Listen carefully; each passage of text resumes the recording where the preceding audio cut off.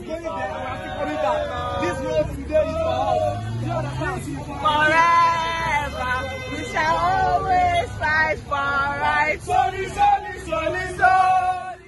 The Academic Staff Union of Universities (ASUU) has announced the extension of its three-month strike by an additional three months for government to meet their demands. We are here outside to demand, to, to demand our rights. They are not doing us any privilege. We are only calling them to order.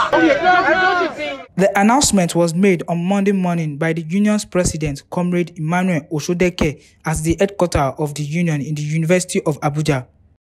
The pronouncement came after an extensive meeting of the leadership of ASUU on Sunday and early Monday morning.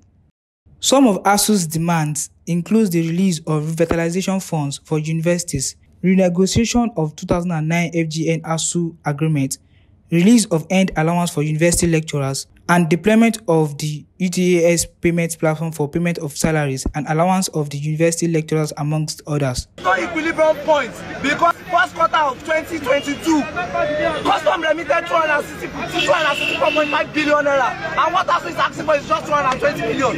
They just they just recover 203 million dollars which is even enough to send ASU back to school to open our universities. What are you telling me? There's no equilibrium. Priorities right.